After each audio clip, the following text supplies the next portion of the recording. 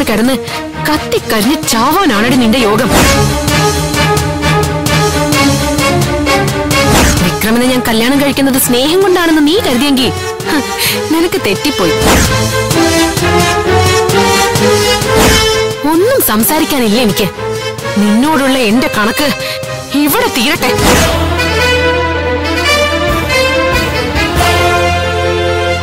നീ ആരോട് ചോദിച്ചിട്ടേ പഠിക്കത്ത് കാലുകുത്തിയത് നിന്നെ എനിക്കൊന്ന് കാണണമെന്ന് തോന്നി. ചിലത് പറയണമെന്ന് തോന്നി. അതിനാ വന്നത്? പറയാനുള്ളത് മുഴുവൻ നീ പറഞ്ഞു കഴിഞ്ഞല്ലോ.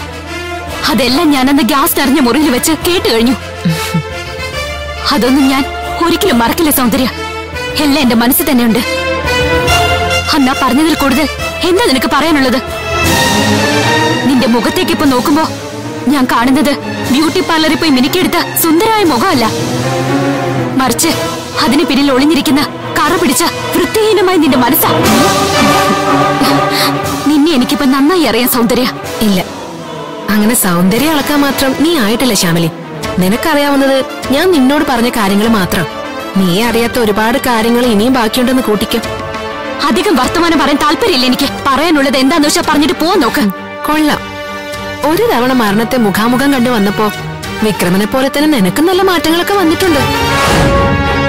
വർത്തമാനത്തിലും ഭാവത്തിലും ഒക്കെ ശ്യാമിലിയിൽ ഇന്നുവരെ കണ്ടിട്ടില്ലാത്തൊരു ഊർജം വാക്കുകൾക്കൊക്കെ ഒരു വെറുപ്പിന്റെ സ്വരം.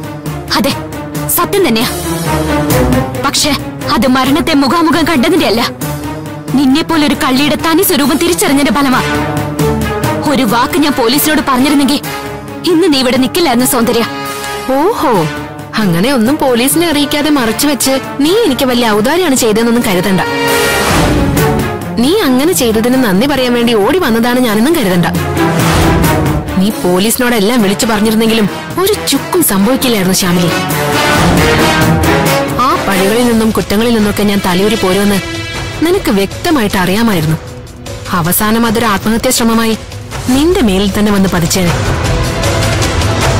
എല്ലാം വെറും ഒരു കഥ പോലെ പറയാനല്ലാതെ മറ്റെന്ത് തെളിവാ നിന്റെ മുന്നിലുള്ളത്? യെസ് ആ ഫോൺ കോൾ. അതൊരു പക്ഷെ നീ റെക്കോർഡ് ചെയ്തിട്ടുണ്ടാകും. പക്ഷെ ആ ഫോൺ ആ തീയിൽ നഷ്ടപ്പെട്ട സ്ഥിതിക്ക് ഇനിയൊന്നും ഭയക്കാനില്ല എനിക്ക്. ശരിയാ നീ നേരത്തെ പറഞ്ഞത്. ഞാൻ അറിഞ്ഞതൊന്നും അല്ല നിന്റെ മനസ്സ്. അതെനിക്കിപ്പോ ബോധ്യപ്പെട്ടിട്ടുണ്ട്.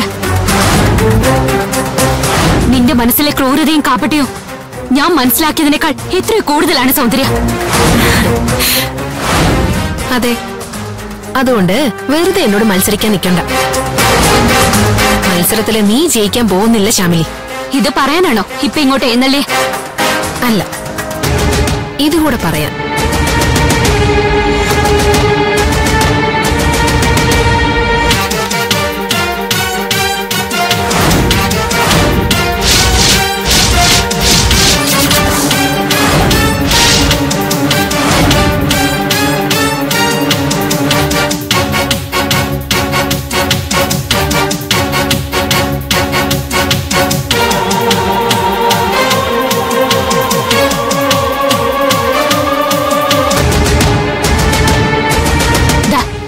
നീ തന്നെ വെച്ചോളൂ സൗന്ദര്യ.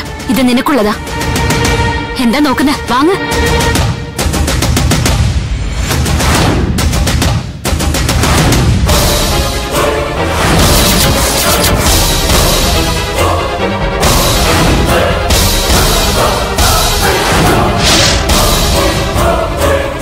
അനുഭവിച്ചത് കൊണ്ട് നിന്റെ അഹങ്കാരമൊന്നും തീർന്നില്ല അല്ലേ? ആരാരുടെ ജീവിതത്തിൽ നിന്നാണ് തുടച്ചു നീക്കപ്പെടാൻ പോകുന്നതെന്ന് നമുക്ക് കാണാം. സൗന്ദര്യ പോകുന്നതിന് മുൻപ് ഒരു മിനിറ്റ്. ഏതായാലും ഇങ്ങോട്ട് വന്ന് ബുദ്ധിമുട്ടിയതല്ലേ?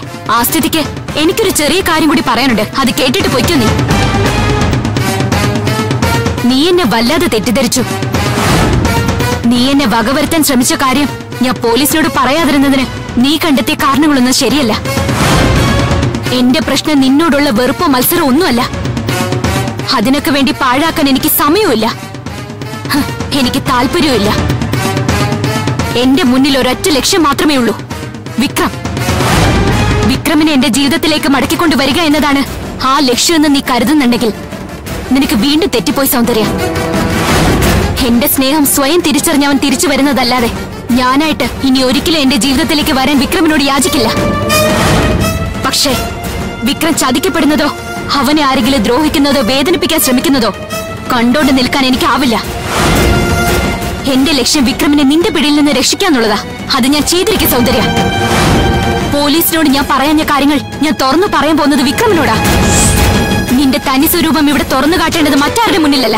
വിക്രമിന്റെ മുന്നിലാ. നിന്റെ ക്രൂരതയെ നീ അവന്റെ മുന്നിൽ വെച്ച് നടത്തുന്ന ഈ നാടകവും വിക്രം തിരിച്ചറിയണം.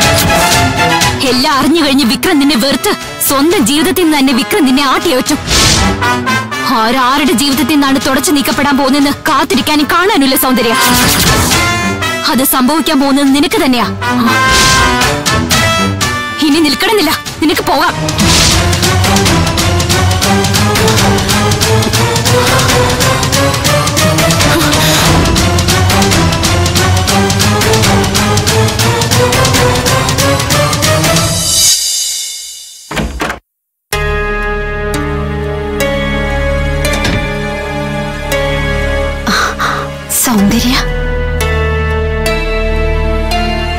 മോളെ സൗന്ദര്യ എൻഗേജ്മെന്റിന് ശേഷം മോളെ ഈ വഴിക്ക് കണ്ടില്ലല്ലോ എന്ന് ഞാൻ എപ്പോഴും ആലോചിക്കാറുണ്ട്.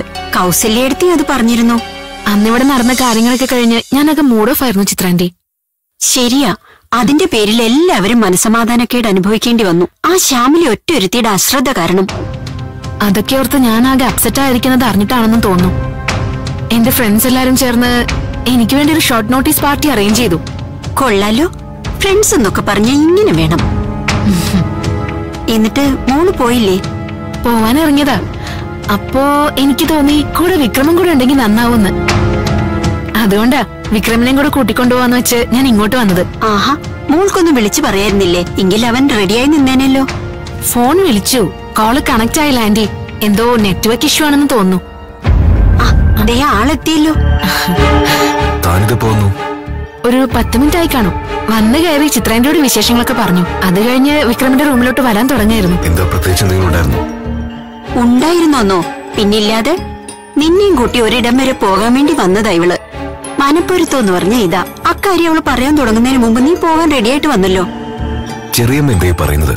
ഞാൻ വേറൊരു വഴിക്ക് ഇറങ്ങിയതാ. അയ്യോ വിക്രമിന് എന്റെ കൂടെ വന്നേ പറ്റൂ. എന്റെ ഫ്രണ്ട്സ് എല്ലാരും എനിക്ക് വേണ്ടി അറേഞ്ച് ചെയ്ത സ്പെഷ്യൽ ബ്രഞ്ച് പാർട്ടിയാ അതിന് താൻ പോയാ പോരെ. തന്റെ ഫ്രണ്ട്സിന്റെ ഇടയ്ക്ക് ഞാൻ വന്നിട്ട് എന്തിനാ? അങ്ങനെയാണോ വിക്രം? ഇനിയിപ്പൊ എന്റെ ഫ്രണ്ട്സ് നിന്റെ ഫ്രണ്ട്സ് എന്നൊക്കെ ഉണ്ടോ? എന്റെ എല്ലാ കാര്യങ്ങളിൽ നീയും നിന്റെ എല്ലാ കാര്യങ്ങളിലും ഞാനും കൂട്ടായിരിക്കേണ്ടതല്ലേ? വാ നമുക്ക് വേഗം പോയിട്ട് വരാം. അവരെല്ലാരും കാത്തിരിക്കുവാ. ഒറ്റയ്ക്ക് പോകാൻ തോന്നാത്തോണ്ടല്ലേ? പ്ലീസ്. ഇങ്ങനെ സ്വന്തം കാര്യം മാത്രം നോക്കി വാശി പിടിച്ച എങ്ങനെയാ ശരിയാവുന്നത്? എനിക്ക് എന്റേതായ കാര്യങ്ങളില്ലേ? ഞാൻ ഒരിടത്ത് പോവാൻ ഇറങ്ങിയതാണെന്ന് പറഞ്ഞതല്ലേ? സോറി പക്ഷെ ഒരു പ്രാവശ്യത്തേക്ക് അതങ്ങ് മാറ്റി വെക്കി വിക്രം. പ്ലീസ് ഞാൻ കാൽ പിടിക്കാം. എന്റെ ഫ്രണ്ട്സിനോടെല്ലാം ഞാൻ പറഞ്ഞുപോയി നിന്നെയും കൊണ്ടുവരാന്ന്. അതുകൊണ്ടാ. അവരെല്ലാരും നമ്മളെ പ്രതീക്ഷിച്ചിരിക്കായിരിക്കും. ഞാൻ പോവേണ്ട സ്ഥലത്ത് എന്നെ ആൾക്കാർ കാത്തിരിക്കുന്നുണ്ടോ സൗന്ദര്യ. അതെന്താ താൻ ചിന്തിക്കാത്തത്? ഇപ്പൊ ഞാൻ തന്റെ കൂടെ വന്നില്ലെങ്കിലും അത് ആർക്കും അത്ര മോശമായി തോന്നേണ്ട കാര്യമൊന്നുമില്ല. കാരണം അത് നേരത്തെ കൂട്ടി പറഞ്ഞ് അറേഞ്ച് ചെയ്ത ഫംഗ്ഷൻ ഒന്നുമല്ലല്ലോ ഇത് താൻ തനിയെ പോയിക്കോ. അടുത്ത തവണ നോക്കാം. എനിക്കിന്നൊരാളെ കാണാനുണ്ട്. അതുകൊണ്ടാ. വിക്രം. നിനക്ക് എന്ത് ഇത്ര അത്യാവശ്യം? ആരെ കാണാൻ ഈ പോകുന്നു? ഒരു ഫ്രണ്ടിന് ഏത് ഫ്രണ്ട് മനുവിന്. അവൻ വീട്ടിൽ തന്നെയല്ലേ ഉള്ളത്. ലീവിന് വന്നതല്ലേ? അതെ. ആ സ്ഥിതിക്ക് ഇപ്പൊ തന്നെ പോയാലേ കാണാൻ പറ്റുന്ന നിർബന്ധമൊന്നുമില്ലല്ലോ? പിന്നെ എന്തിനാ മോനെ നീ ഇവളോട് ഇങ്ങനെ വാശി കാണിക്കുന്നത്? ഞാൻ എന്തോ വാശി കാണിച്ചു അമ്മയെ പറയുന്നേ? മനുവിന്റെ അടുത്തേക്ക് പോവാൻ ഇറങ്ങിയതാ. അവൻ എന്നെയും കാത്തിരിക്കുക എന്നിട്ടൊരു ഫംഗ്ഷൻ അറ്റൻഡ് ചെയ്യണ്ട് ശരി അതൊക്കെ അമ്മ സമ്മതിച്ചു. ഇപ്പൊ നീ സൗന്ദര്യയുടെ കൂടെ പോയാ മതി. അമ്മയല്ലേ പറയുന്നത്? മനോജിനോട് ഞാൻ വിളിച്ചു പറഞ്ഞേക്കാം. പറഞ്ഞു ഞാൻ വിളിച്ചു പറഞ്ഞേക്കാം.